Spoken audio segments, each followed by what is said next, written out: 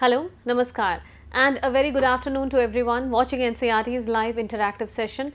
I am Simran Singh, and you have all connected with us through eVidya channel number 9.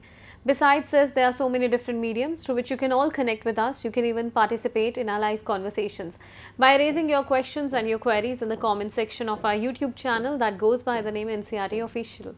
And viewers, for this half an hour, we have a session of English for all class 9 students. And the topic that we are going to discuss today well it's quite interesting. It's a poem by Robert Frost. And the title of the poem says the road not taken. So are you familiar with this phrase the road not taken and why are we specifically discussing about the road that is not being taken by people instead of the one uh, that has been taken or chosen by so many people. So, I think there is something related to the title and yes we are going to discuss the poem and to explain the poem to us we have with us our expert. So, let me introduce you to Dr. Ashwani Praveen Tatugade madam. Namaskar ma'am. A very warm welcome to you. Namaste. Ma'am is uh, currently serving as Assistant Professor from Department of Education in Languages in CRT New Delhi. Viewers in this live interactive session, if there are any queries that you would like to share with us, besides there, if there is anything you would like to share with us in case your feedback, then feel free to connect with us through this contact number flashing on your screens. It is 8800440559 and you can always reach out to us through the specific mail IDs. For class 9 students for this particular session, the mail ID is dth.class9 at the rate ciet.nic.in. So, let's begin our conversation and try and understand more about the road not taken by Robert Frost. So, ma'am, um, well, this title itself, I think um, it is very fascinating. And why are we actually discussing about this road? What does road mean? So, uh, just providing a gist, what are we going to discuss in the session today? Namaste. Today we are going to talk about a poem which is written by Robert Frost, uh, one of the uh, familiar and most popular poet uh, from American literature. The present poem, The Road Not Taken, is about the choices which we make in our life and you know life is our life is a journey and today we are going to experience this wonderful journey through this poem. You know poem or any literary art that elevates our soul and present poem is also going to enhance, enrich our soul and our experiences even. So, today we will talk about this wonderful poem and we will try to learn something new related to this. All right, uh, definitely we are going to discuss in depth about this poem and uh, we have a name over here, the name of the poet, Robert Frost. Would you also like to mention a few lines about the poet? Yes, of course. Robert Frost, his full name is Robert Lee Frost and he is from America. Robert Frost, uh, he, he is, uh, you know, voracious reader and he loves to read a lot since his uh, childhood. He uh, wrote uh, poems and he is, uh, you know, he is a um, winner or four times winner of Pulitzer Prize even and number of titles and number of degrees uh, on his honorary degrees on his uh, name. His uh, along with this present poem, uh, two other poems I would like to mention here which we must read and we must enjoy. Uh, first one the stopping uh, by the woods on a snowy evening and second one is the mending wall. So, all his poems whenever we uh, read we get something uh, you know something new to learn and his poems provide moral lessons even okay and All that's right. about uh, our today's poet Robert Frost. And I think uh, that's the reason why his poems have been included in the textbooks of our students so we can uh, learn more. So, uh, why not uh, begin with the chapter? Yeah, sure. So, as you see, as I told you, I told you our life is a journey and uh, when we, uh, this journey, how can we complete this journey? By taking some uh, roads to travel, right now. So, our choices, our choices make our journey and our choices, whatever we choose that is going to uh, definitely uh, define our future even. Okay, so as we discussed the title of the poem is uh, The Road Not Taken and uh, it is really a poet here is talking about the road which is not taken. So, it is something wonderful to uh, learn about the road which is not taken and what why poem is here talking about the road which is not taken and not he is not talking about the road which is taken okay mm. so our choices our sustainable choices make our uh, future better and therefore we must be wise we must be uh, very uh, critical and uh, analytical while uh, taking paths. Okay and uh, since you know in our daily life also we face many uh, issues many problems whether to choose this or that and the poem is going to provide us answer what uh, should be our choice. So before going to read the poem i i have some questions First is that um, what do you think about the choices you made in your life? So, students you may also participate in the discussion by uh, comment by sending your comments in a comment box. Okay, so what do you think uh, about the choices you made in your life? And so, uh, how the choices are going to make impact upon your life. So, two questions together. All right and viewers can share their answers with us and on behalf of our class 9 students I would have to answer that. The first thing is that I feel great about the choices that I have made in my life and I actually do not have any regrets. Uh, the second thing is uh, which choice has made a significant impact on your life. So, uh, if I have to answer this, I, there's one thing that I was an MBBS student I was in the first year of MBBS and I, I dropped MBBS oh. to pursue a career in mass communication. So I think uh, that was one choice that has significantly impacted the way or the life that I am living today. That's great. Okay. And here when we uh, discuss the poem, let us start the poem. First of all, I will read the poem and then we will discuss it in detail. See, there are four stanzas in the poem and total 20 lines. What poet says the poem opens with this stanza number 1 Two roads diverged in a yellow wood and sorry I could not travel both. And be one traveller long I stood and looked down one as far as I could to where it bent in the undergrowth. Then took the other as just as fair and having perhaps the better claim because it was grassy and wanted wear. Though as for that the passing there had warned them really about the same. And both that morning equally lay in leaves no stave had trodden black. Oh, I came first for another day, yet knowing how way leads on to way. I doubted if I should ever come back.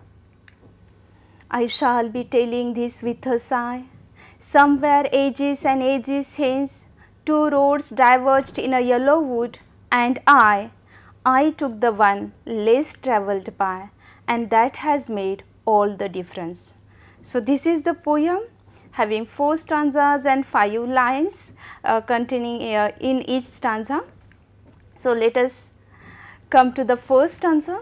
If you observe the poem, this is the narrative poem and the rhyme scheme also you can observe the rhyme scheme of the poem wood goes with stood and could and both and undergrowth. So, rhyme scheme is A, B, A, A, B.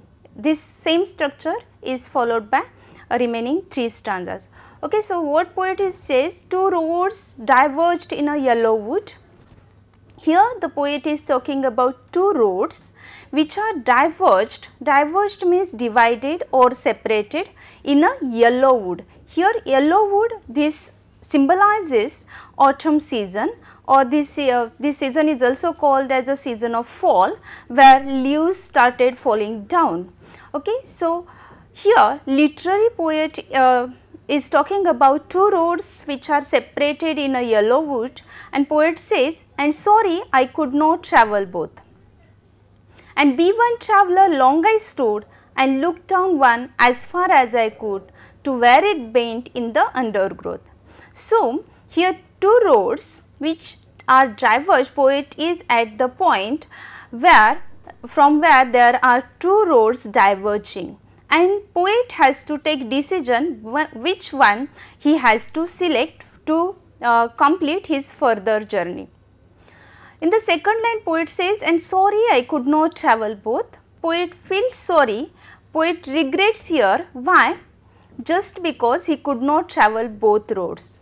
Being one individual we cannot travel two or more than two roads right now. So, here we have some limitations being one individual being one traveler this poet has to choose one path to complete his journey. And but of course poet wants to travel both both paths both roads. And next poet says and be one traveler long I stood. Poet stays there for a long time. He stays there and he observes two roads. Why? Because he has to choose one and he stays there and he contemplates which one should I take and therefore he looked down one as far as I could poet says and looked down one as far as I could. He tries to observe, he tries to observe the two roads to where it bent in the undergrowth. Undergrowth means among the plants and bushes. He tries to look these two roads.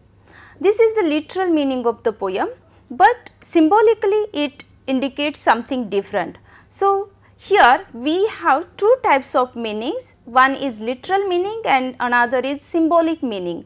Okay. So, symbolically what poet wants to say here, two roads diverged in a yellow wood means what?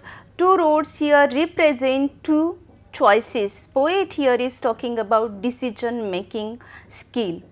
Poet says there are two choices in front of me which these two choices are different and in a yellow wood symbolically here yellow wood represents a difficult time of life. So, poet is at the point he is facing a difficult a difficult situation to choose the one road and poet says and sorry I could not travel both at the same time I could not choose both options I cannot take both decisions at the same time I cannot be a teacher and I cannot be a doctor. So, for my journey, I have to choose one path.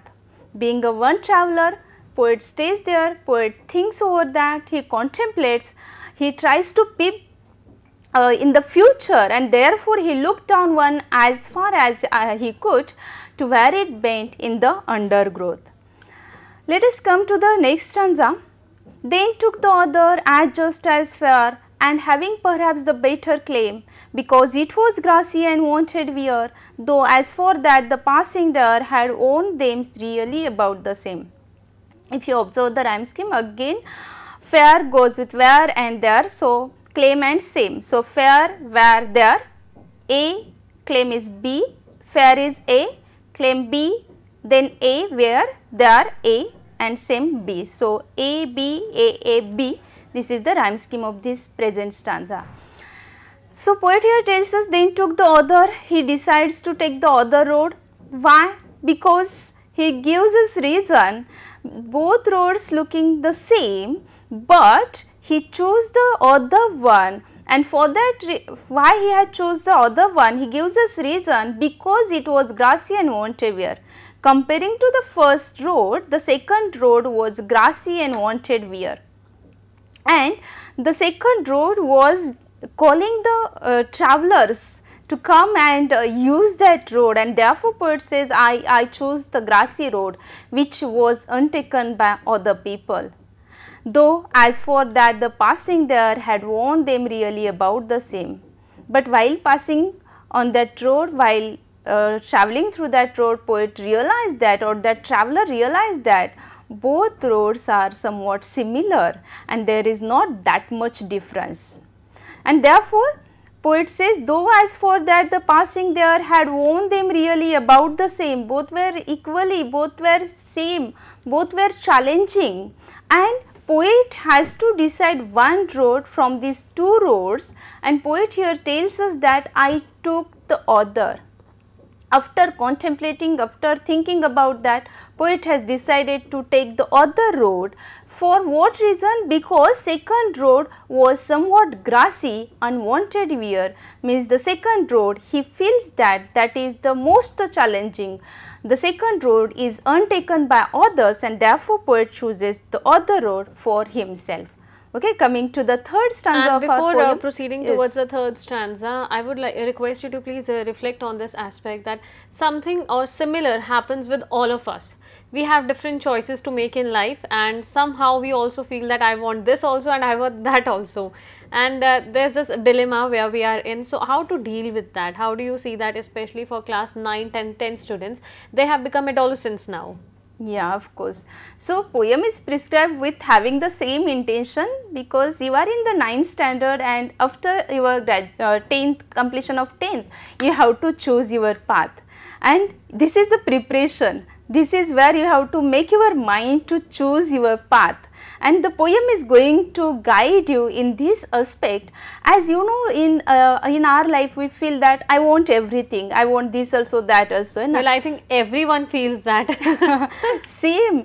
But here what is important? This decision making skill. Hmm. we have to choose wisely. If you want to be a successful in your career in your life then your choices must be wise right now?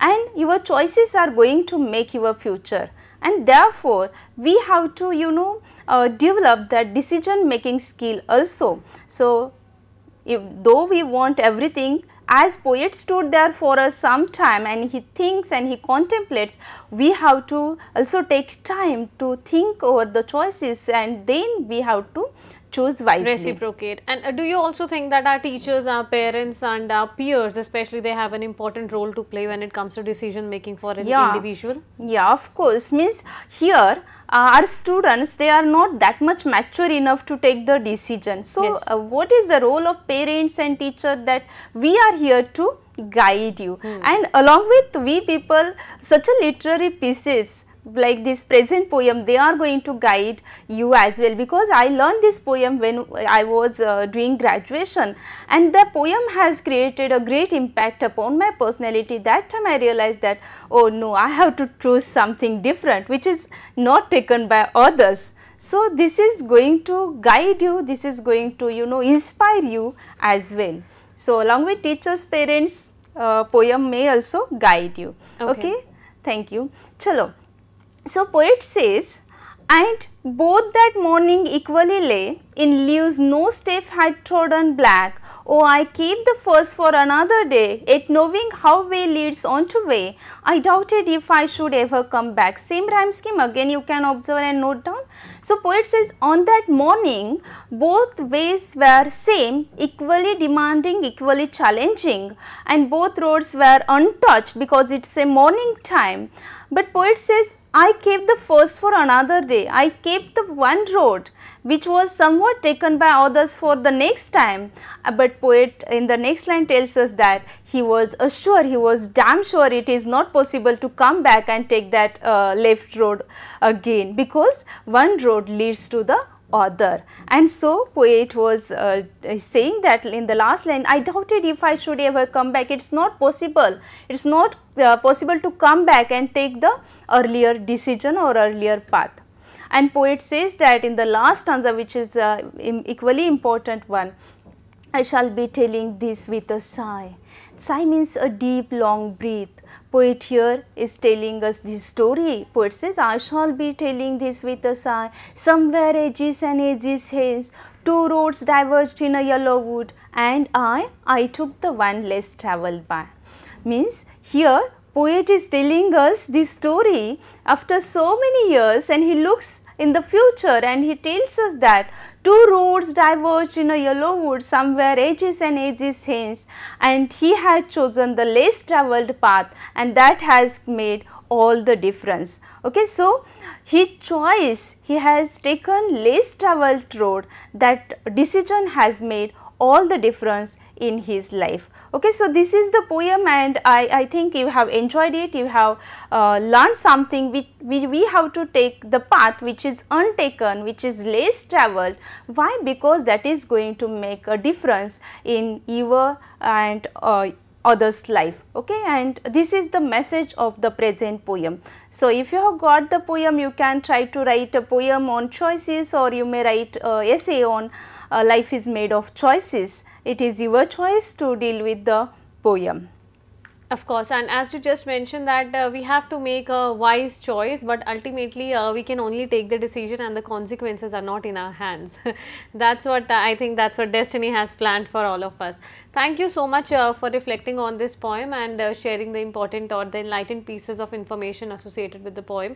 And very quickly as we are approaching towards the culmination of the program, uh, concluding message from your end to all our learners. Okay. So, dear uh, learners, you just try to read the poem once again, try to enjoy the beauty of the poem and try to develop your analytical skill, your decision making skill and observe your choices means do not uh, hang in between two things or do not hang uh, in between uh, different choices.